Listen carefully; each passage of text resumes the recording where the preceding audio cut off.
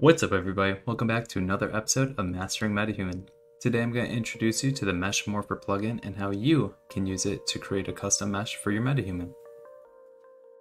To get started from here, you can go to meshmorpher.com as you see above in the URL bar.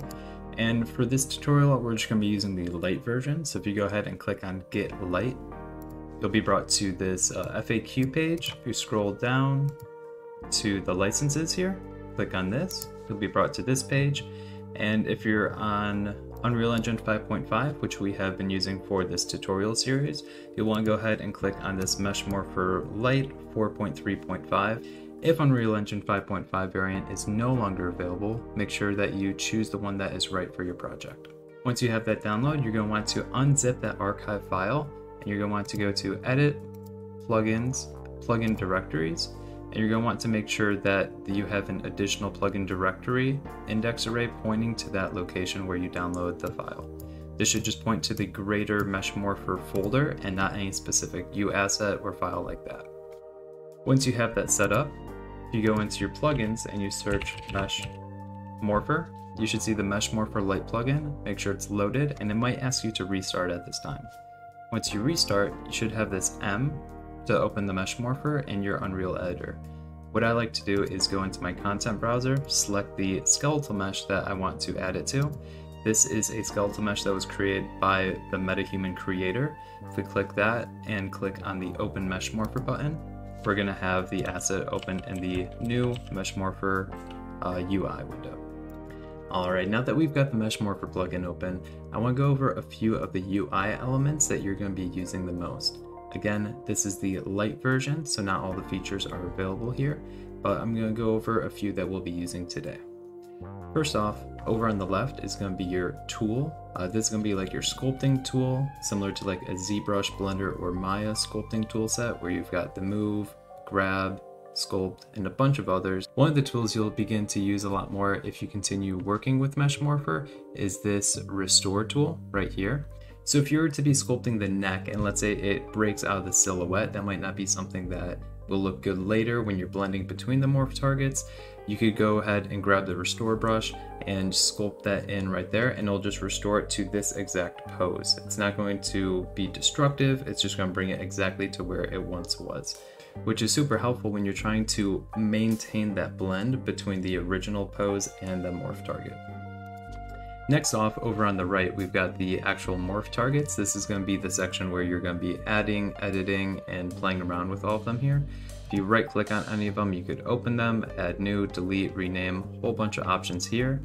Uh, below that, we've got the animation curves. This is how we're going to drive these morph targets. Uh, these are the ones that are set up with MetaHuman. When I click on these, you could see the corresponding morph target respond in the window above we go ahead and let's say do the brow raise and L, you can see the brow raise there, you do it on the right. What we could do with this is then if we had the full version, we could click poser and it would create a morph target from the pose that we created with the animation curves. This is great if you want to create a bunch of different emotions that are you know driven by six to you know 20 different animation curves which is hard to replicate you could go ahead adjust them all in the anim curves click poser and it'll create that mesh. It will create that morph target. If we click it now, it'll say this functionality is now available in the free version. Again, we're using the Lite version for today. We could go further in depth into the full version at a later time. Beyond that, we've got the toolbar at the top, which is where you're gonna have different tabs. Um, in the top left is where you're gonna select your different skeletal mesh. You could save your skeletal mesh here, toggle post-processing, add new morph target, delete the current selected morph target, rename them, duplicate, recompute normals, copy morph target to another skeletal mesh. This becomes really handy when you're working with only metahuman assets because they're going to have the same topology if you started from LOD zero and you didn't you know change anything in ZBrush Blender during your sculpts. So copying morph targets from another skeletal mesh is another one that you might be using a lot if you're working with a large data set of metahumans.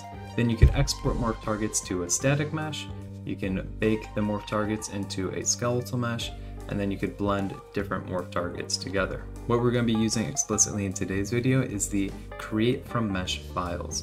This allows us to take a sculpt or a blend shape or a morph target that we create in a separate DCC application and import it into the Mesh Morpher plugin. If you had a mesh already in Engine that's set up as a skeletal mesh, you could also use that as the base. Again, there's the poser, wrapper, alembic export, append mesh, remove mesh data, transfer weights, subdivide mesh, and deformer graph, all of which I recommend that you guys check out yourselves at a later date. Now, let's jump into it. What we're going to need to do is get the skeletal mesh of this exported out to our DCC package of choice. Again, Mesh Morpher does allow you to edit and customize morph targets directly within the engine, but I'm used to a different sculpting toolset, so for today I'm going to be using ZBrush to kind of sculpt out what I need the customized base mesh to be. If you're comfortable using it in here, you could go ahead and click Add New, create a morph target, right click, open morph target, and use the sculpting toolset on the left here. What I'm going to do for today is minimize this, open up the content browser, locate the skeletal mesh, and go ahead to Asset Actions and Export. This is going to export the skeletal mesh with the skeleton and all the blend shapes. We won't necessarily need all that, so when you go to Export, click on Save, and in here you could disable the export morph targets. Go ahead and hit Export. I'm going to be importing it into Maya for today. Again, it shouldn't be too long of an export because we're not importing all the different morph targets. A lot of times it's got to import hundreds of poses, which could take a very long time to load. Alright, once that's imported into the scene, you should see a skeleton hierarchy with the mesh in the scene. What I'm going to do is just select the geometry here, freeze transforms and delete history, then we should be able to just click on the mesh, unparent it from the group, Make sure we zero out the transforms here once again because we're moving it from this group that had the 90 degree offset. Go ahead and delete this, click on the geometry, and you could file export selection to your sculpting DCC package. If you're using in Maya, you could just continue right in here, use the sculpting toolset, or go into Blender, Mudbox, ZBrush, whichever one you prefer. I'm going to be exporting it over to ZBrush, doing a quick sculpt, then I'll see you guys back in Unreal Engine.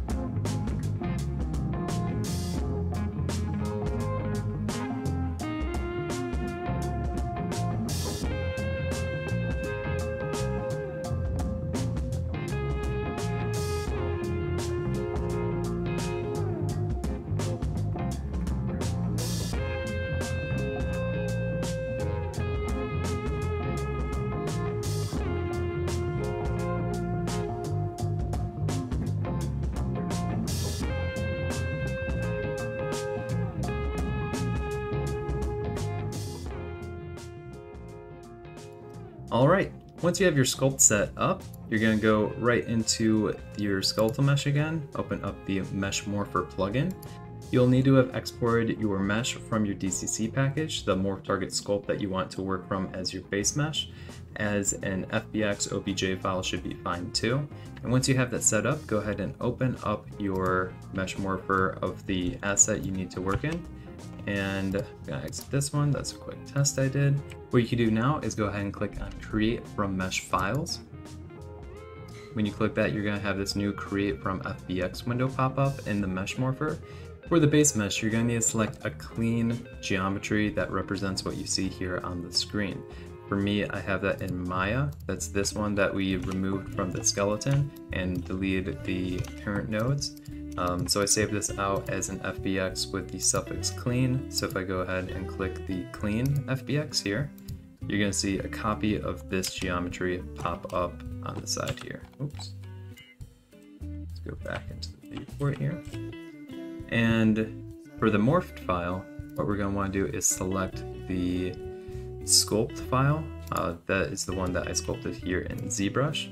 We go ahead and grab the FBX from that. I think I called it this one. It might appear not at origin, that's fine. You go ahead and use these different morphed transforms if you unlock the lock transform. I think there's just a 90 degree offset here that I forgot, or a negative 90. There we go. And you should see it pop up right over here. You give the new morph target a name. We're going to call this uh, target base mesh. And we could leave a lot of these other ones. We're going to enable match by UV to make sure that interpolates the vertex positions um, based on the UV from the base mesh to the target mesh. And once that's selected, you could go ahead and click create. Might take a minute or so, applying morph target to skeletal mesh. Once it's finished, you should see a creating target base mesh to MetaHuman Mesh Morpher demo face mesh was successful. Obviously your names will differ here, but you want to make sure that there's a success message here. Once that's done, you can go ahead and hit OK. Return to your Mesh Morpher um, iteration of your skeletal mesh. And if you don't have anything in the search bar, you should be able to go to the bottom and see a new target base mesh.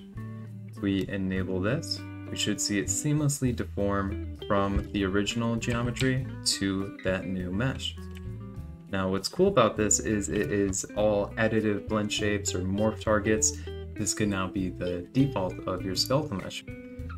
Now, unfortunately, this is where the Lite version ends, because if we go up to bake the morph target to the skeletal mesh up here in bake, it says bake morph targets has been moved, use poser to bake morph targets. And as we know from before, if we go ahead and click poser, this functionality is not available in the free version.